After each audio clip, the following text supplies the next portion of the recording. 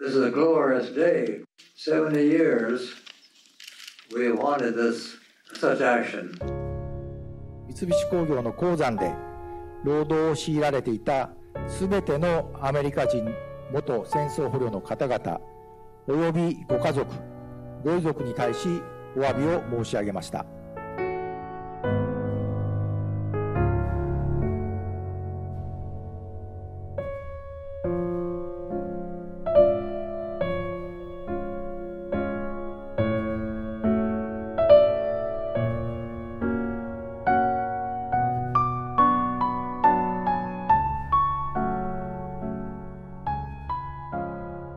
과거의 재가를 외면하는 일본의 거대 기업 미쓰비시와 일본 정부를 상대로 자신과 모두의 역사를 되묻고 또 되물었던 한 사람.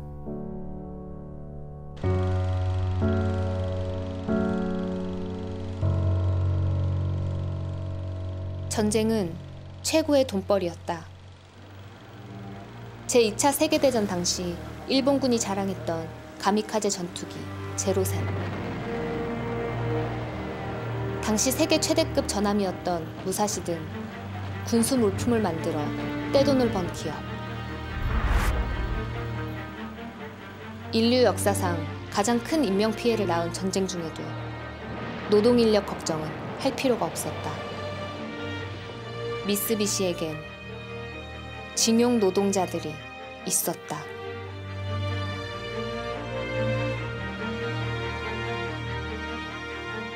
그는 자신의 하루하루를 일기에 담는다.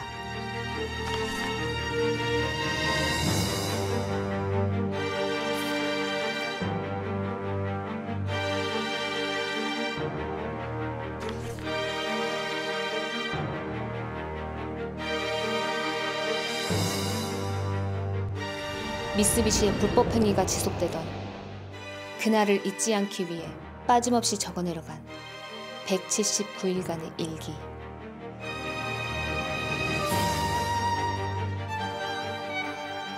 제대로 사죄하지도 책임지지도 않았다.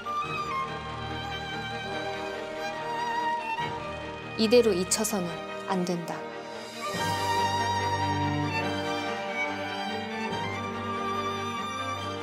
그날 적어 내려간 일기를 들고 47년 만에 증언을 나선 김순길.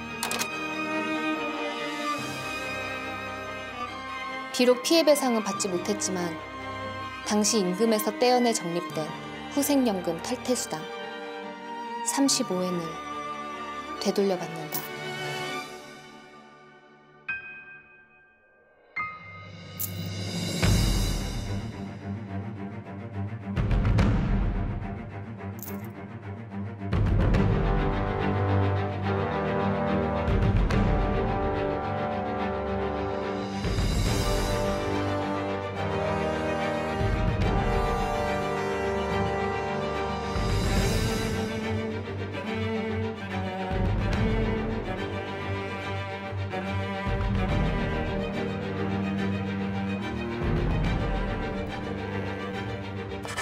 기억하여 기록하다.